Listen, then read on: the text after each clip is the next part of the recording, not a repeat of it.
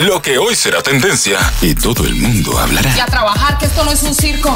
El Mañanero presenta El Bochinche. Recibimos a Juan Esteban y a Ivonne Peralta, Ay, Dios mío. los ministros del chisme. ¡Sabroso! ¿Qué tenemos? Bueno, está fuerte De todo la un poco. cosa. Por favor, mi querido José, aunque pase ¿De el una vez? video. Sí, eso es Sí, para que pase rápido. el Eso es video. así. Put mira, video. Picadito. Stacy Peña Santana, mejor conocida como la demente. demente, Para ver, vamos a ver, Stacy, Para Stacy. conocer su medida de coerción. Hubo también una discusión entre los abogados. Parece que la familia de ella apoderó dos, dos lugares diferentes de abogados. Dos, eh, ¿cómo se dice? Uno por un lado otro por otro. Exacto, exacto. Entonces Dos ellos, abogados. Tú sabes, ellos estaban discutiendo a ver cuál entraba, pero bueno, eh, hay algo que se está diciendo. Y que entre ellos discutiendo, no voy Sí, yo. voy discutiendo. yo. Así mismo, así mismo era que estaban. Mentira. Eh, sí, el video anda por ahí. Eh, bueno, pero la demente, eh, hay algo que, que pudiera complicar el, el caso de Rochi.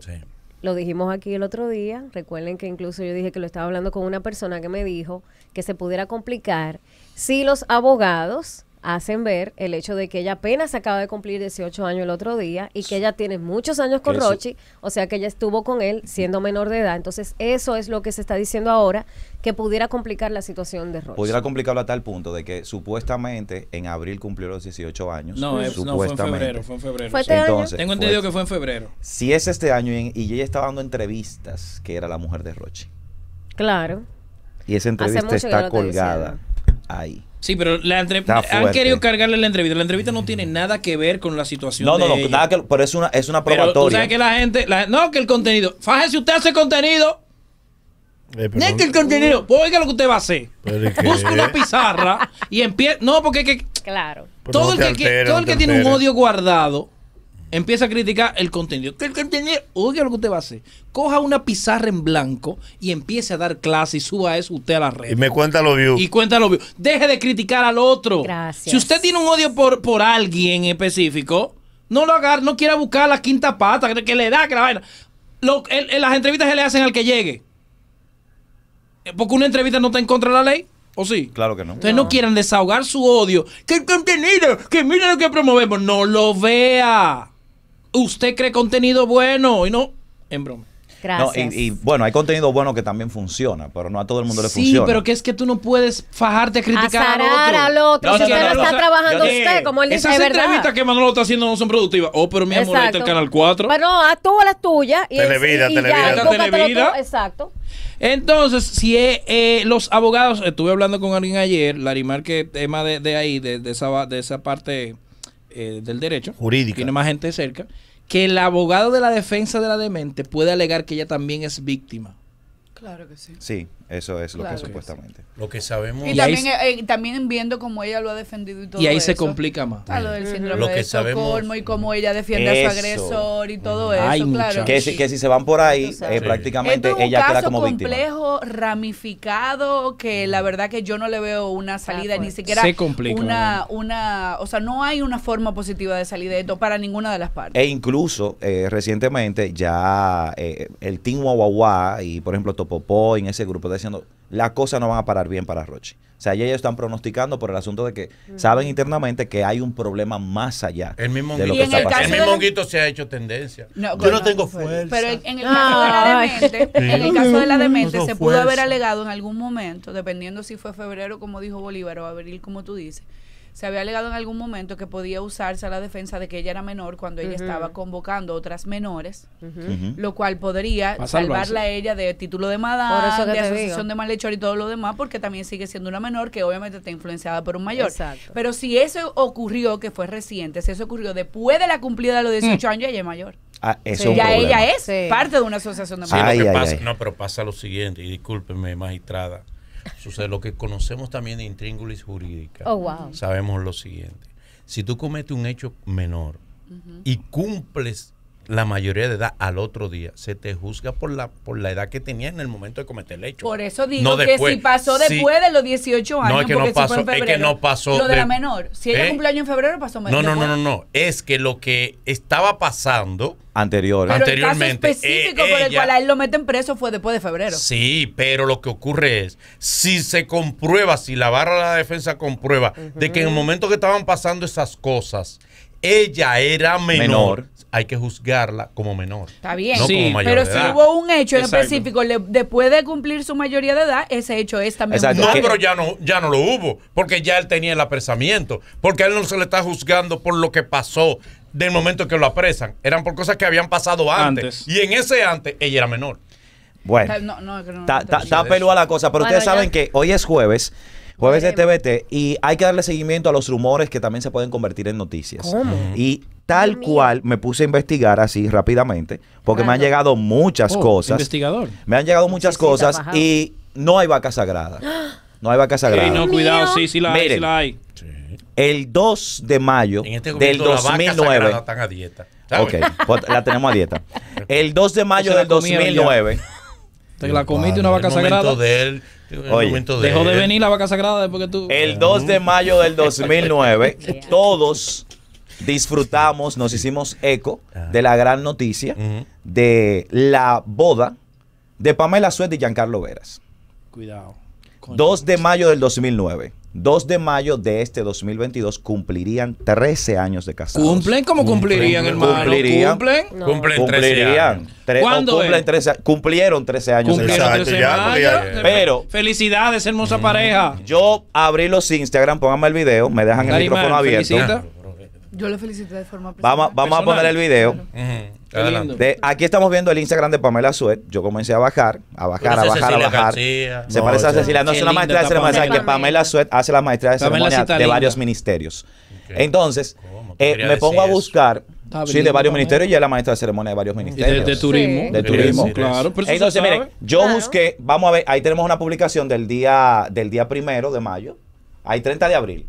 Después buscamos primero de mayo, que ella está felicitando a una sobrinita, y de ahí salta, el primero de mayo, y de ahí salta al 4 de mayo. ¿Qué tiene que ver eso?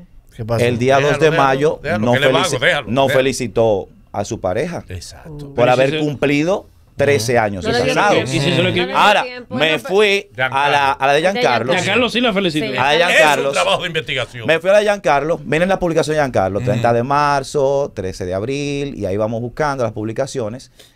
La publicación que tiene con la familia, que es esta, se hizo el 24 de marzo. Sí, hermano, mírelo ahí. 24 de El fin de- marzo. de- de en el 26 de marzo, ella, Alonso y él. Qué lindo. Qué bonito. Estamos en mayo, Pero yo lo sé, cuestiones de la vida. factura. Vamos sé. buscando. Esa es la última publicación de la familia completa. ¿Qué tiene que ver eso?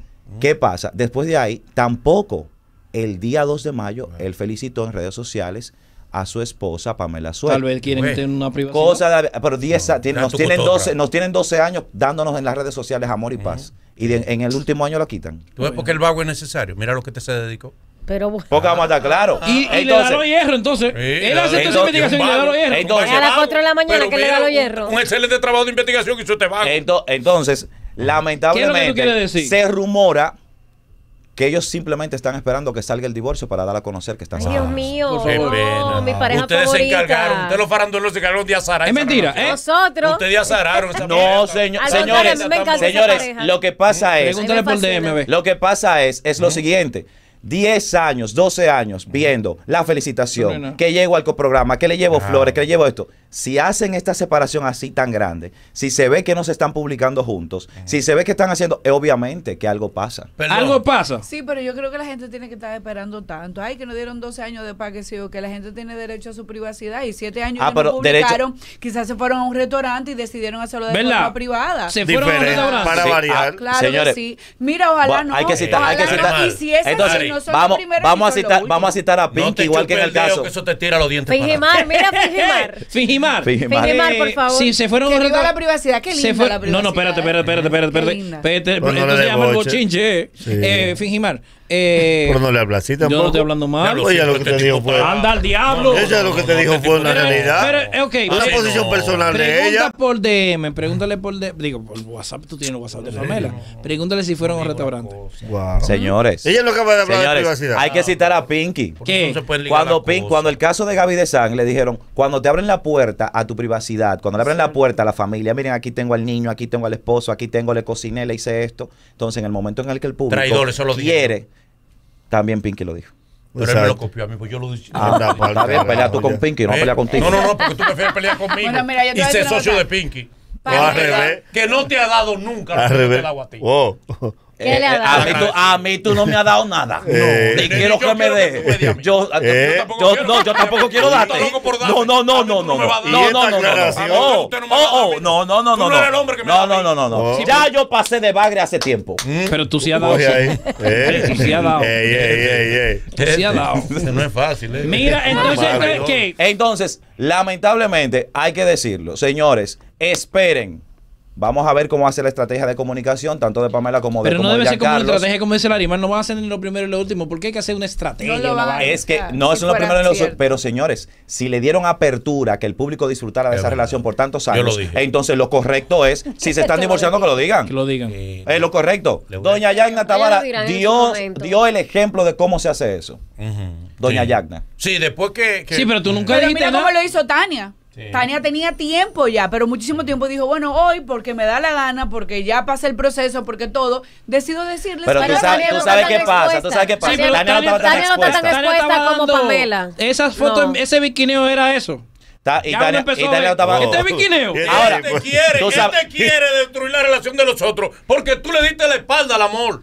Eh. Eso es. Yo le, yo, yo le, yo le he dado la espalda y el frente. Ah. Toda la vida. Eh, tú le vas dando la espalda al amor. Ahora, te voy a decir, tú sabes, que, otra. tú sabes qué pasa. A mí me incomoda eso. O sea, que este Pamela todo un que- show. A mí me incomoda eso, que Por en el momento en el que, en el que están en la relación, ah, sí, te dan, cuando te están dando para los likes, para Exacto, darle, para darle cosas, ahí tú- muy bien, pero entonces cuando la gente le exige, Eh, cuando atrás, tú le estás dando, Pero ¿eh? escribe. Eso. Pregúntale. todo el mundo le escribe No, es que si, y no. va a la fuente se cae. Se cae. No es lo correcto, no es mándame el celular de Pamela, No por favor, para yo, para yo, envi- para yo enviarle un DM. Seguimos, seguimos. Oh, ya, wow. ya. Wow, Pasemos wow. otra noticia. Wow, buitre. Esperen ese divorcio. No, no. Déjala que. Buitre. Para preguntarle, yo sí voy a la Te fuente. quieres comer las Para matar la información, vas a la no. fuente. Carroñate un corazón. No, no, no, te no, no, no, no, no, no. Buitre. Mucho cariño para Giancarlo. No, no, no, no. Le voy a pedir a ustedes que si quieren algo de mí, pídanmelo. No me lo roben. Oh, ¿Por qué? wow, ¿qué No, te robaron? ¿Qué te robaron? Ah, Mandaron a mí, fue. Fue mi amor, eso es para que se Eh, escuche eso el es para audífono, tú ves. el audífono. Es para que se escuche el audífono, tú Ah, ves. Ah, Eh. El único que roba aquí. ¿Tú sabes quién es? Exacto. Eh. Porque oye, ¿quién Sigan, habla? sigan. Pero, pues, Mira, muchachos, pero eh, vámonos para el parqueo. Esto va ¿verdad? para ti, Boli. A ver, ¿qué? Permiso. Sí, sí, Bochinche sí, sí. pa' boli. Esta va para ti porque tú sabes que tú quieres ayudar, tú quieres hacer un GoFundMe para, para el Pachá. Sí. Y bueno, el Pachá explica el por qué. 50 están mil fuera yo iba a del dar. área. 50 mil. Tú dijiste que eran 100. Dijiste No, Manolo cien. no quiso después. No, no, ¿Le Isaura bajaste fue que te 50? bajó. Y Sabra me bajó. Ahora lo te bajo a bajó. 50. Bueno, pero por lo ¿De qué menos. es lo que de. Ahora dijo que iba a poner 100. bueno. Traemos la palabra dentro. ¿Qué dice el Pachá? Eh, bueno, vamos a ver el video, por favor, eh, mi querido Vamos a ver. Josian, eh, que corre el video. Yo estoy jodido porque yo pienso mucho en la patria. Pero espérate, espérate. espérate. Yo estoy jodido. y- Ponerlo, antes de ponerlo, digan que este video es del programa, esto no es Ah, radio, por que todos los derechos es de ese programa, porque no pueden mandar un strike. Entonces, Bueno, pónganle ese. Mejor di lo que. Sí, bueno. Los tigres, Bueno. ellos están locos por ese strike, mandarlo. Ya Entonces, di, di qué fue lo que dijo. En el programa esto no es radio, el Pachá dijo. Se puede ¿qué dijo? escuchar, por lo menos, ¿verdad? Di- mejor di Pero lo que Dice que lo mismo. Amor.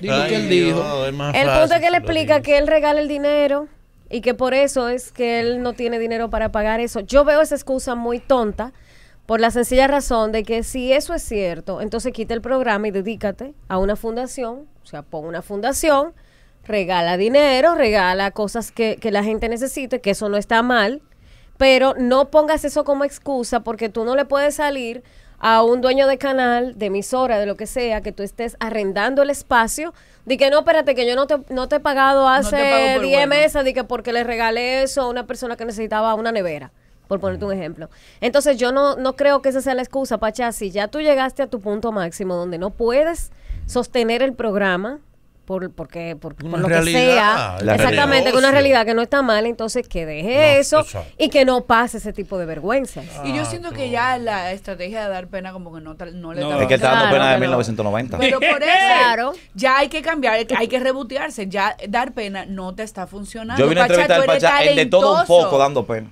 Que es Ya que el tipo es talentoso, él nada más hay que resetearlo. Sí, pero, Pero- bastante, Ay, que pero ya resetearlo. eh, eh, No, hay ciclos que se cumplen. Si tú no te reinventas, no hay forma. Exacto. Ya, eso Eh, Hay, hay casos y cosas. Mira, hablando Yo del Pachá. yo le Hay un dije, tema que usted quiere ahorremos, ahorremos, ahorremos. Sí. Tengamos Ay, ese, dinerito ahí. Señores, Que al Pachá va a necesitar para otra cosa que no es el Dios. canal. No, y aparte eh. eso lo, lo han cogido de mofia. en No, y creo- te- tengo entendido que pagó una parte ya.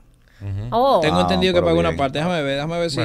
Ojalá. O sea que. Pero lo que tú consigues eso, señores, hablando del Pachá, El GoFundMe. señores. Nelfa Núñez, presentadora del Pachá, que el Pachá incluso hasta confesó que Cocodrilo le dijo en su momento que esa muchacha es mala. Oyes. Oyes. Ponme la foto, porque aparece una ex presentadora de, de, de con el Pachá. Quiere decir ahí Jane Quesada, la señora Madre Filtro, y le dice malagradecida ¿Cómo? a Nelfa Núñez. Dios Dice que- mío. di que quítate el filtro y después hablamos. Y le preguntó quién eres. ¿Quién eres? Que ¿Quién no te eres? reconozco. Por favor, ¿quién Le es? digo, ¿quién eres? Identifícate. No hablo con ¿Pero extraños. quién eres? Identifícate. Mi mira, mamá me dijo que no hable con extraños. Vamos a leer el, el mensaje extenso que le puso Jen La Quesada. comida que le dio Jen La Quesada. comida que le dio Jen Quesada a, a Nelfa Núñez. Ella le pone, la mujer más malagradecida que he podido ver, deberías agradecer que el Pachá te dio la oportunidad de estar en un medio, en uno de los programas con más rating de los fines de semana. Pégate y gana con el Pachá.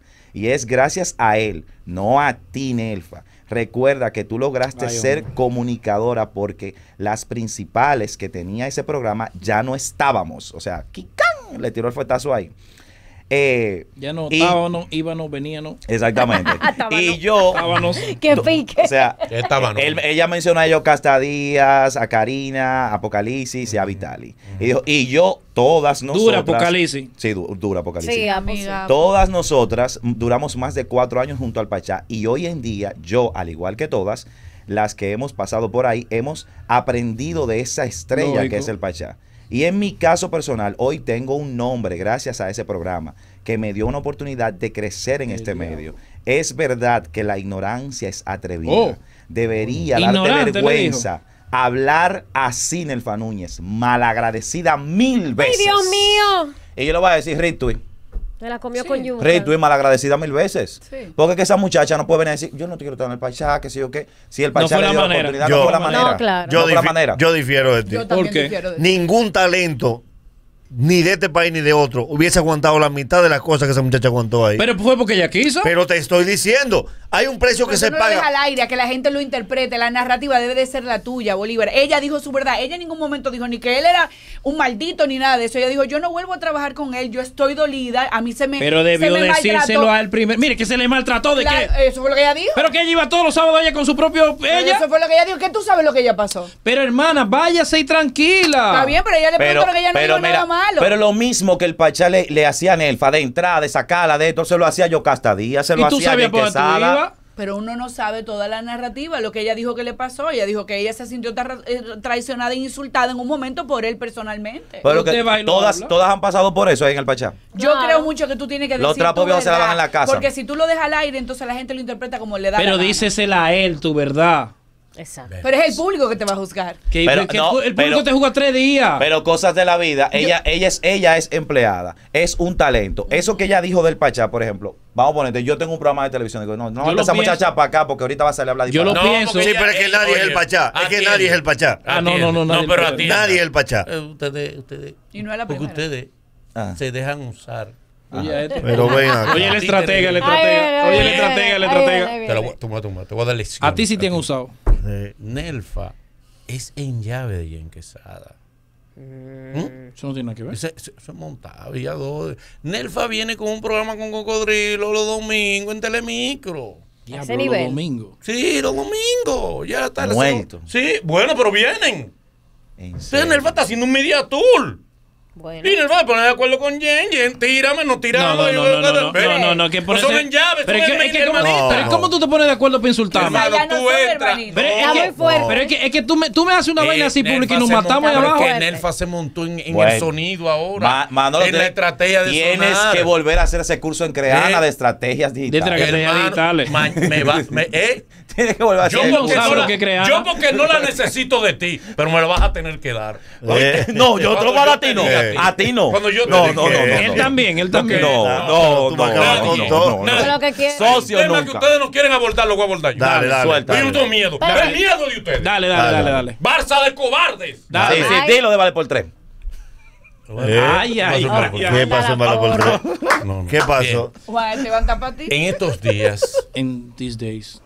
Como coincidencia de la vida, han vuelto a entrevistar. En, sí, déjenme solo. en Sí, este te vamos a dejar solo. No, tú estás Han solo vuelto a entrevistar a mi hermano y amigo de siempre, Nicolás Díaz Malgaro. Ah, no, pero espérate, vamos a entrar, vamos a entrar a José. Para que entre ¿Eh? José, para que, para que Ah, hable. bueno, manda a buscar. Entra José Mato. Bueno, venga, por lo que. José llega, me llega un dato, Boli.